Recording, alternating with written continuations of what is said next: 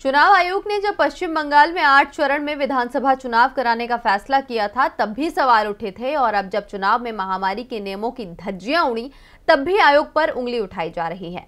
लेकिन आयोग ने किसी की न सुनी। इसीलिए जब मद्रास हाईकोर्ट ने फटकार लगाई तो चुनाव आयोग लाइन पर आ गया और उसने मतगणना को लेकर बड़ा फैसला लिया है।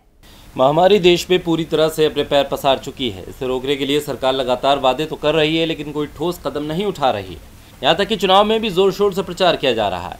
इस पर नियमों की धज्जियाँ उड़ाई जा रही हैं। इस और तो न सरकार का ध्यान है और न ही चुनाव आयोग का। इसीलिए मद्रास हाईकोर्ट ने उसे कड़ी फटकार लगाई। साथ ही महामारी के प्रसार के लिए उसकी ढिलाई को जिम्मेदार बताया।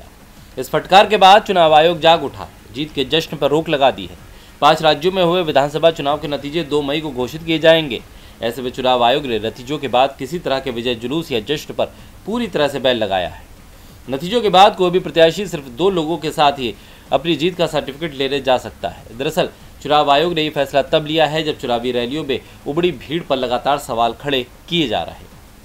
बंगाल में सातवें चरण के मतदान से पहले चुनाव आयोग ने बड़ी रैलियाँ, रोड शो और पद यात्रा पर रोक लगा दी थी। राजनीतिक दलों से वर्चुअल सभाएँ करने की अपील की थी। बावजूद इसके नियमों की धज्जियाँ उड़ाई जा रही थी। इसे लेकर मद्रास हाईकोर्ट ने चुनाव आयोग को फटकार लगाई थी। हाईकोर्ट ने कहा था कि दूसरी लहर के लिए पूरी तरह से चुनाव आयोग जिम्मेदार है। आयोग ने किसी भी तरह की चुनावी सभा पर रोक नहीं लगाई, जिसमें बड़ी संख्या में लोग एक जगह इकट्ठा होते रहे।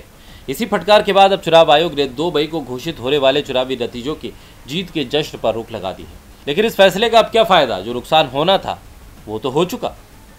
डीबी लाइव की रिपोर्ट।